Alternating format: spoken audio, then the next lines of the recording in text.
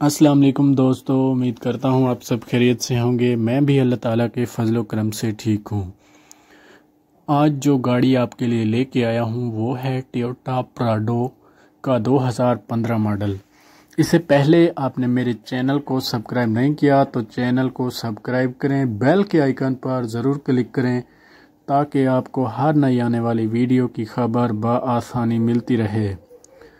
और दोस्तों प्लीज़ आपसे छोटी सी रिक्वेस्ट है कि मेरी वीडियो को पूरा देखें ताकि आपको गाड़ी की पूरी इन्फॉर्मेशन हासिल हो सके।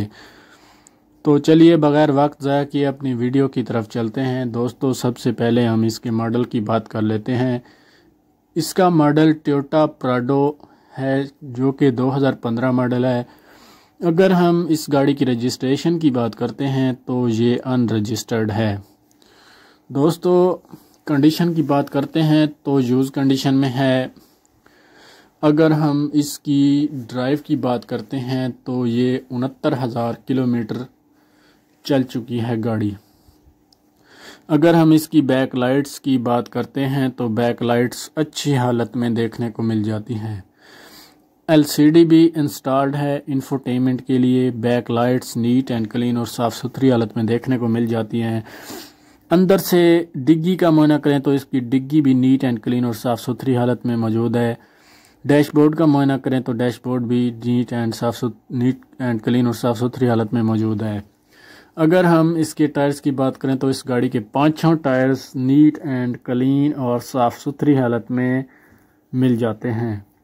इसमें बैक कैमरा भी इंस्टॉल्ड है, साउंड सिस्टम भी गाड़ी में इंस्टॉल्ड है। अगर हम इसके इंजन की बात करते हैं तो इसका इंजन बिल्कुल नीट एंड क्लीन और साफ़ सुथरी हालत में मौजूद है। जिस भाई को भी ये गाड़ी चाहिए, लिंक डिस्क्रिप्शन में मौजूद है, गाड़ी बाय कर सकता है। ये एक सनरूफ गाड़ी है। अगर इसकी सीट्स की बात करते हैं तो सीट्स भी नीट एंड क्लीन और साफ़ सुथरी हालत में देखने को मिल जाती हैं। साइड मिरर की बात करते हैं तो साइड मिरर भी नीट एंड क्लीन और साफ़ सुथरी हालत में देखने को मिल जाते हैं। अगर हम इसकी डैश, इसके डैशबोर्ड की बात करते हैं तो डैशबोर्ड देखने को अच्छी हालत में मिल जाता है। ट्रांसमिशन की बात करते हैं तो ये ऑटोमेटिक ट्रांसमिशन में गाड़ी मौजूद है। अगर हम इसके इंटीरियर की बात करते हैं तो इंटीरियर वाइज गाड़ी में किसी भी किस्म का कोई भी मसला नहीं है। गाड़ी के तमाम सेंसर अपनी वर्किंग कंडीशन में मौजूद हैं। इस गाड़ी में फोग लाइट्स भी इंस्टॉल्ड हैं। अगर हम इसके इंटीरियर की बात करते हैं इंटीरियर साफ़ और सुथरी हालत में मौजूद है।